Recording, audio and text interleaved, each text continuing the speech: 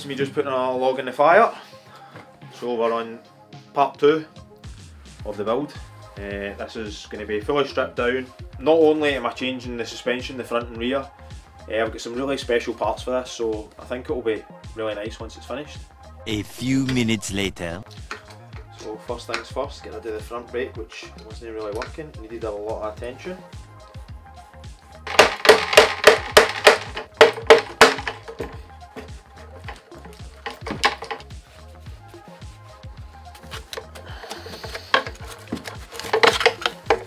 So this cover uh, not only holds the floating rear brake arm, but also is a cover uh, for the gearbox, and also you can get into the internal workings to access the cables and whatnot.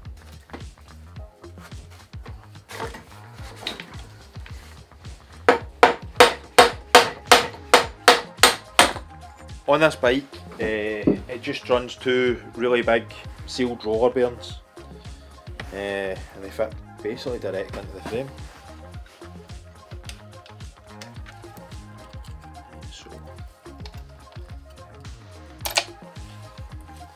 that's it, and then gearbox is out there in your hand. This, as we described earlier on, was a bit of a. It feels like it's a bit of a bodge job, and one of the things that was a bodge job on it was Originally, the bottom bracket uh, was fitted with two big bearings, two spacers, and a spacer in the middle, and then your cranks went right through the middle. The problem was, if it got a little loose, like the bearings were glued in, it, it, it started moving, and then it caused play, and then it essentially broke it. The, the piece of metal that I got made was then glued into the frame, and it's been good for a touch wood a long time some new decals for it, but there's also a couple other projects that might be coming up soon. Um, there. Donut. Oh, there's all the half stickers. Gave it a wee kind of quick hose out the back, rinsed all the rest of the crap off it and as you can see it's got quite a nice uh, carbon weave. So as I said in the other video, the bike is a high pivot. It's got a linkage driven suspension on it and it's got flex stays which as you can see from me moving it on down it's under tension. We are trying to build a super bike and what does every super bike need? It needs titanium hardware. Oh, yeah. Because the Fox that I'm fitting the Intend Infinity I've got a flat crown, whereas the RockShox had a sort of curved uh, drop crown on the lower. Uh, the crown, the bearing had to sit on a spacer. So I got a spacer made up, machined up, with a small lip so that it sits on the, the inside race of the bearing. Uh, so it runs nice and smooth. Using my bearing press to press the bearing into the frame and make sure that the crown's on uh, its full travel.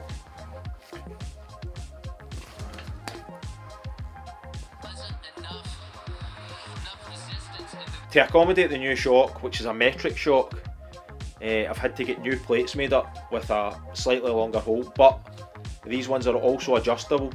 So they've got the standard hole, they've got a slightly longer hole, and they've got an even longer hole, which is which will accommodate the EXT shock that I've got and I'm fitting.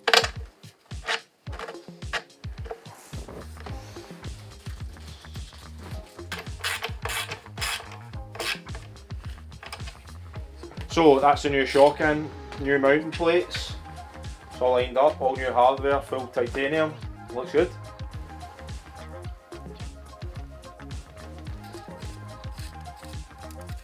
I went for a set of short cranks, which are the kind of in thing now. Uh, the 155 from Hope, which I don't think are long out. Um, the bottom bracket's particularly low, so I thought something a bit shorter would keep them out of harm's way.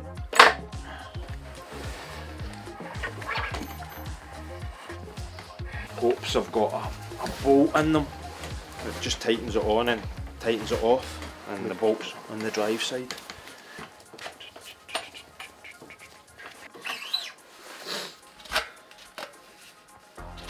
Just going to bolt up the brakes, got a big 220 rotor on the front and some Hope Tech 4s. for some stopping power so I don't think we'll have issues this time with brakes not working.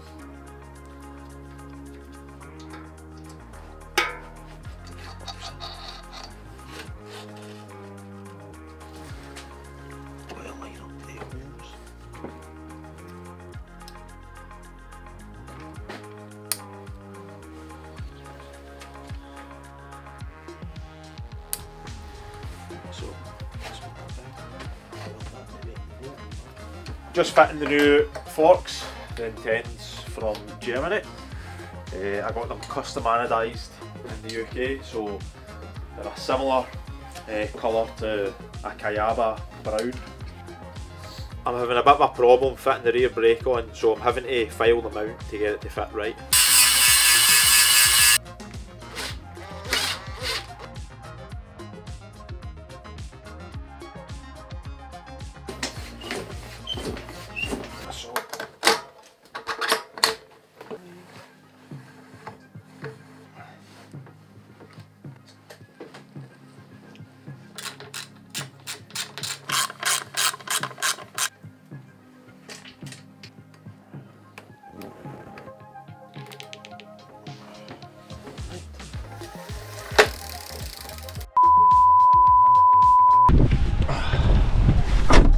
Right, so that's me got in the car, get the bike built, so we're now going to take it up and test it, see how we go.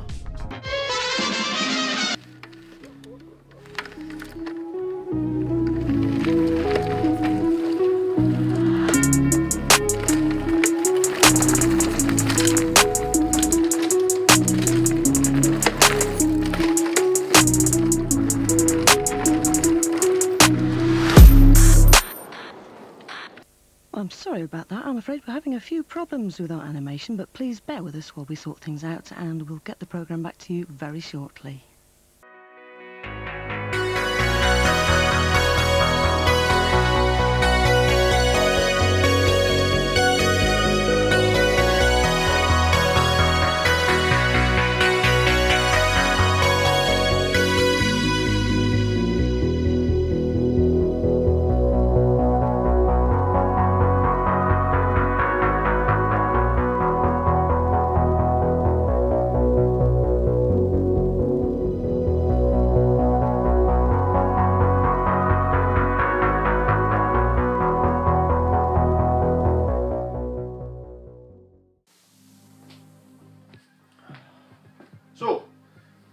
Again. To start this off, I had a couple of technical issues. The first one being that I lost all sound at the end of the day. It was a breakdown and it was talking about the highs and the lows of the day, how the bike performed, and just how the overall day went. It's a shame because the footage looked amazing, but the lack of sound, unless you can lip read, just didn't work. I wasn't really sure how this was going to go post rebuild, because obviously the tech kind of 15 years down the line I wasn't sure if it would make a massive improvement on such an old bike. The Intend fork, although I had been used to upside down forks, with the Manitou Dorado and the Marzocchi Shiver, I was really really impressed at how it performed. I just wasn't expecting it to be as good as it ended up being. And another thing, the EXT that we put on the back, it's incredible too. And going from a Fox DHX5, which I thought was pretty decent, but I wasn't expecting the EXT, which is night and day compared to that even though I'd been told by my friend that it's one of the best shocks that he'd ever ridden. It just seems to track a lot better, the suspension just seems to perform a lot better with the new adjustments to the bike. And another thing, I think that the, the fork and the shock, they both complement each other really, really well. Another massive improvement is the wheels. The mullet setup just works really, really well, and the 27.5 wheel in the front, it just rolls a lot better. The carbon rims, not only have they saved me a bit of weight, but they're also a lot stiffer the wheels also are another huge improvement. One of the issues in the last video that I kind of pointed out was the tyres. The old Michelin kind of Comp 16s had had their day and they were kind of knackered at that point. But the old tyres can't really hold a candle to the new Michelins that they've got out now. I'm not sure if it's the age or it's just that the technology's improved a lot in the tyres. But the new Michelin DH 34 and 22 are brilliant. They're super grippy and they worked really well in the kind of tacky, woody conditions we were testing in. And last thing I can't forget about was the Shimano Saints that were on before. They needed a lot of attention, but the new Hope Tech 4 V4s with the floating discs, Not only do they slow you down when you need to, but just to scrub that wee tiny bit of speed off, they're just brilliant. And now on to my other technical issue, which is actually a bit more of a major one. After sectioning the track and getting the bike set up and working the way we wanted it to work, we had a couple of screws vibrate loose on the gearbox mount, which we didn't actually notice till it was too late. And then in turn, stripping the mounts, but they also bent the plate, which ended the day early.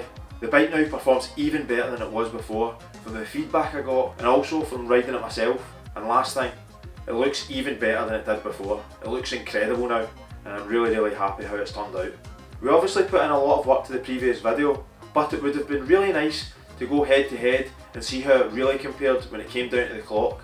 My plans in this series was it was only ever going to be a part 1 and a part 2, the old build and the new build, but because of the technical issues I'm going to make a part 3 where I'm fixing it, I'm going to repair all the stuff that's broke on it, I'm going to recondition the gearbox because it, it was kind of giving me a couple of technical faults also and just improving a kind of wee couple of things and putting some finishing touches on it that I had that I never had on the day when we were building it. And lastly in part 3 I'm going to do a breakdown of what it cost me to do it, what I done and what parts I used to build the bike.